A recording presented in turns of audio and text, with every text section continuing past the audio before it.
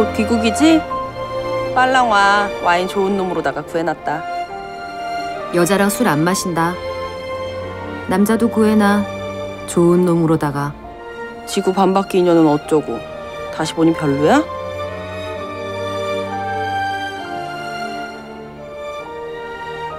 아니, 최고였어.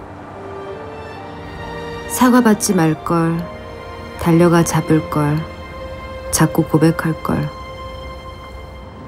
그 모든 기회를 놓치는 내가 그 사람을 얼마나 별로였을까?